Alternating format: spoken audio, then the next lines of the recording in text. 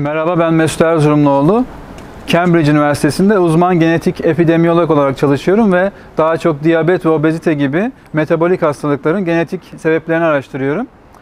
E, nihai amacımız da e, yaptığımız buluşları bilim dünyasına sunmak ve aynı zamanda e, bahsettiğim hastalıklar için de işte ilaç hedefi bulmak ve e, yaptığımız buluşları ilaç şirketleri çok yakından takip ediyor E, ve genelde 15-20 sene içinde de bulduğumuz e, ilaç hedeflerinin e, bir ilaç olarak halka sunulduğunu e, genelde görüyoruz. İngiltere'nin herhangi bir üniversitesinde çalışabilmek için zaten İngilizcenizin çok üst seviyede olması gerekiyor genelde. Yani bu iş aksan vesaire işi değil. Yani aksanlı bir sürü hoca var ama hepsinin İngilizcesi çok iyi. Yani bu en başlıca e, faktör. İkincisi e, tabii ki e, CV'nizin dolu olması gerekiyor. Özellikle çalışacağınız alanda eğer özel bir yeteneğiniz yoksa, böyle çok aranan bir yeteneğiniz yoksa e, bu sefer CV'niz daha ön plana çıkacak. İşte bu da yayınladığınız yayınlar, e, üretken olduğunuzu göstermeniz çok önemli oluyor. E, üçüncüsü olarak da buraya geldikten sonra başarılı olmak için de insanın e, çalıştığı insanların kültürünü öğrenmesi bence çok önemli. Ya birçok e, İngilizcesi iyi olan dahi arkadaşlarım e, İngiliz kültürünü ya da işte çalıştığı hocanın kültürünü bilmediği için çok fazla pot kırabiliyor, sıkıntı yaşayabiliyor.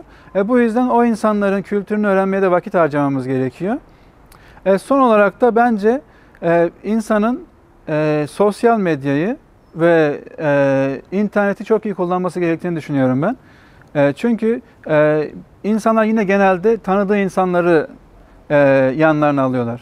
Bu sefer sosyal medyadan ya da konferanslardan e, e, tanıdığın bir insanı e, tanımadığın bir insana genelde tercih ediyorsun. Bu bu insan psikolojisi zaten. E, bu dört faktöre dikkat eden herkesin bence e, rakiplerine göre birkaç sıfır önde olduğunu düşünüyorum ben.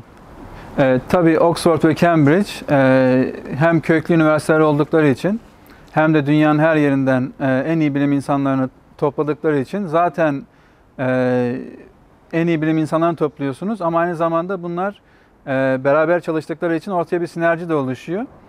E, bu sayede e, çok farklı multidisipliner çalışan insanlar e, birbirlerinden yararlanabiliyorlar.